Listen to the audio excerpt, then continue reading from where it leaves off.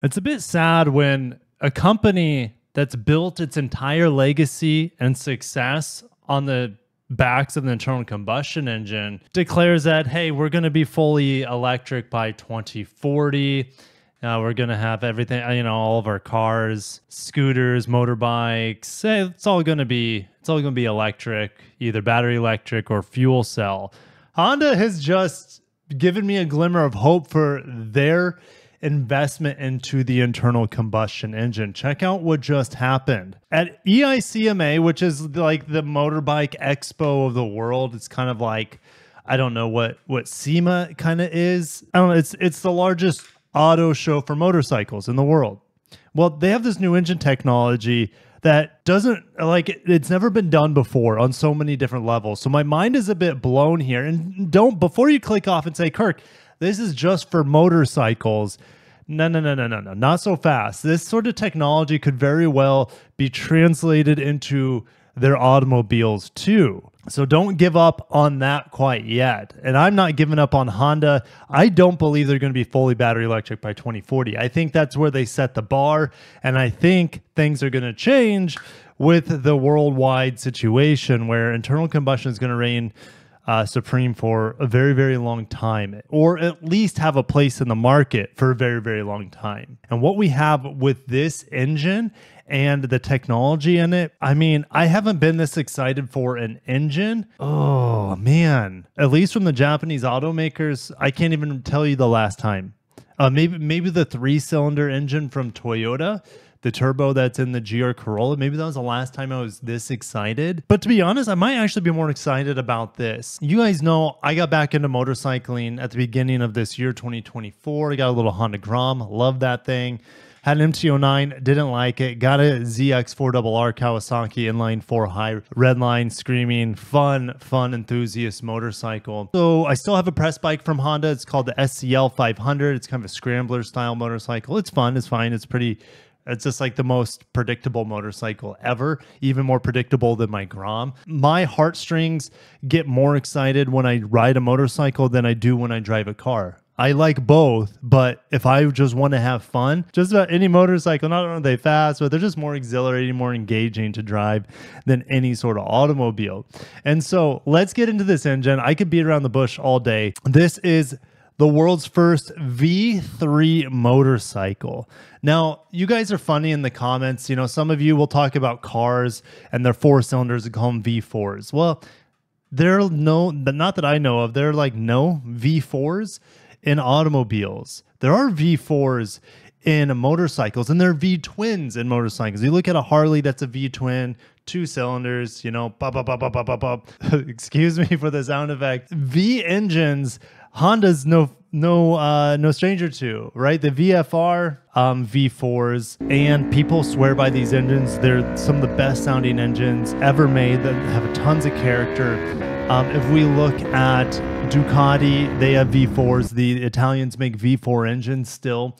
Um, Yamaha, well, we'll get to this page. Yamaha um, is going to V4s uh, because their inline four doesn't seem to be as competitive um, with the V4s that the Italians have. Um, so that's going to be happening happening in the the their R1, um, a V4 coming in and replacing what's always been an inline four for Yamaha.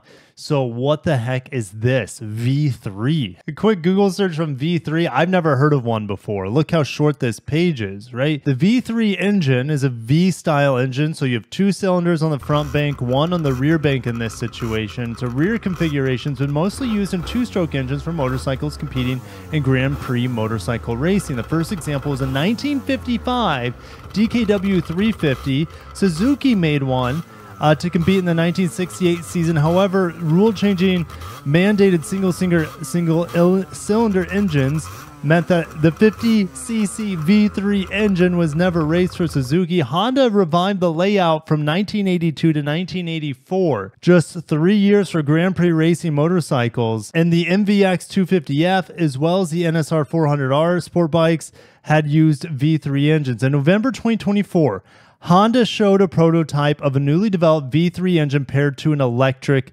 supercharger. So you can count on one hand how many times V3s have been used and the history of internal combustion. Not only do we have a V3 here from Honda, this is going to be coming into production motorcycles and it's going to be using electric turbocharger. And we'll get into the benefits of an electric turbocharger here in a second. But this water cooled 75 degree V3 engine is being newly developed for larger displacement motorcycles. They don't give us a displacement here.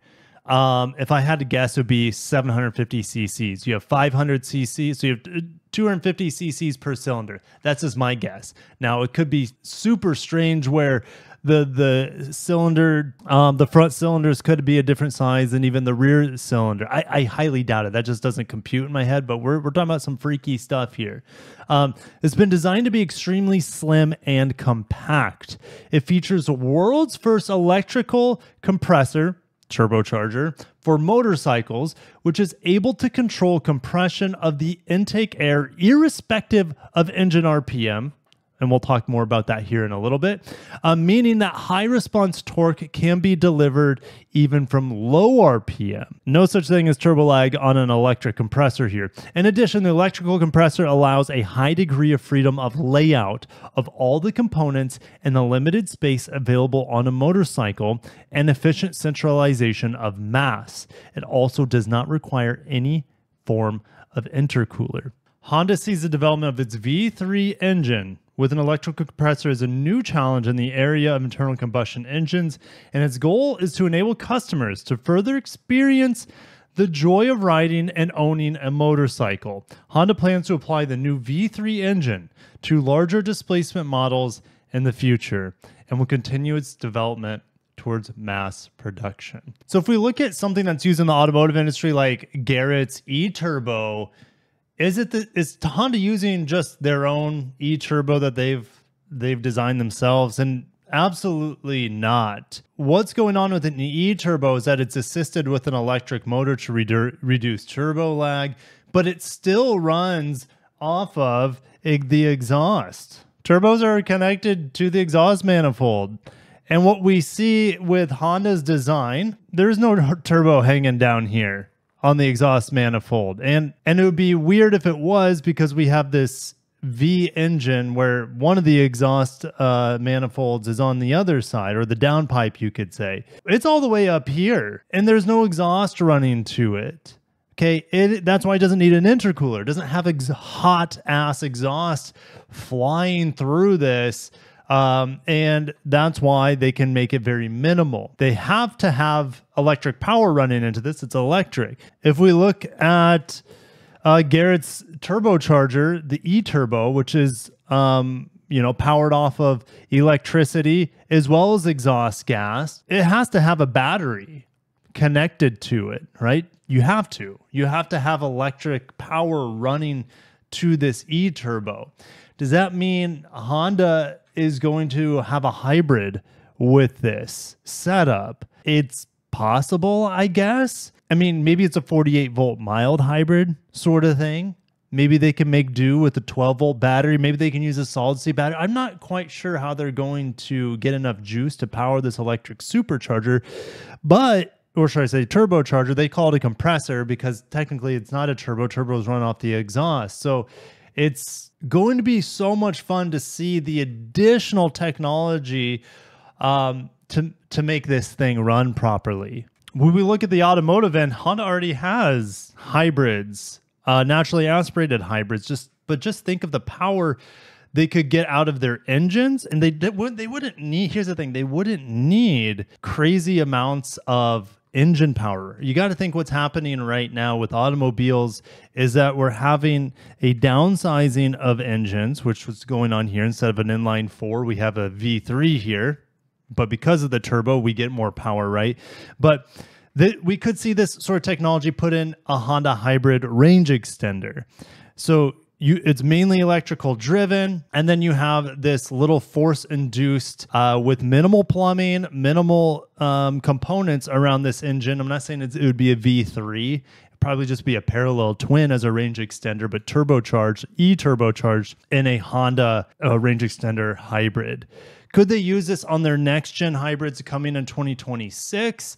This sort of e turbo technology? Yeah, they could. In fact, we need some sort of hybrid from Honda on their large platform. And they could hybridize their two liter turbo that we see in, well, what we used to see in the Accord. We see in the TLX, we see it in the RDX, and we see it um, higher boosted versions and tuned versions in the Type S and the Type R models.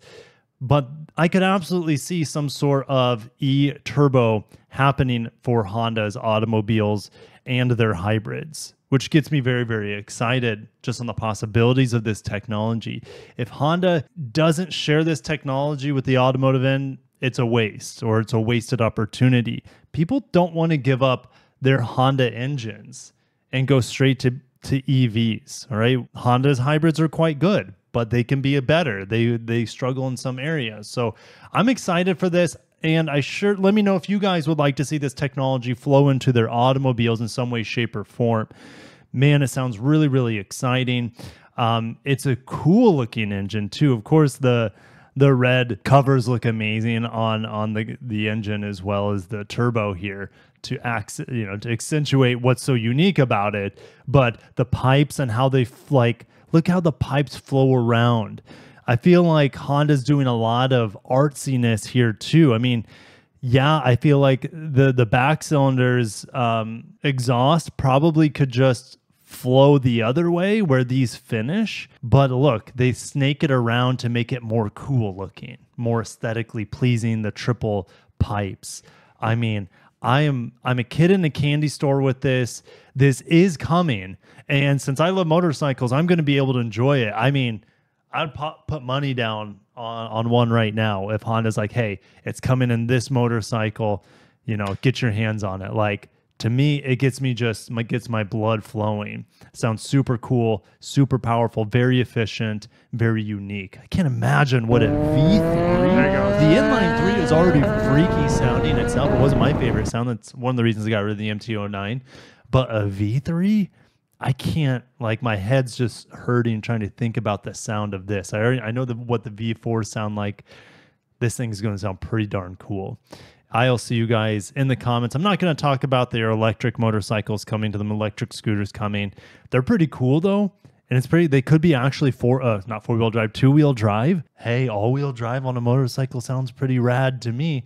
And it would make sense, you know, with all that instant power and torque to have it um, be split against uh, you know the traction split with the two wheels which is pretty neat. But belt driven too here on this scooter and belt driven here on that motorcycle. I can make a video just on those guys but electric motorcycles and scooters don't get me nearly excited as excited as this frankenstein um, turbo e turbocharged v3 from honda thank you guys for watching let me know if you're half as excited as i am I think well, single segmented swing arms always look good, so hopefully they can bake that into whatever V3 engine uh, motorcycle this comes in. But anyways, got to cut myself off. I hope this is not far away. I hope we're only two to three years out, but hey, it looks like Honda's got something really special on their hands. Thank you guys. Catch you in the next one. Peace.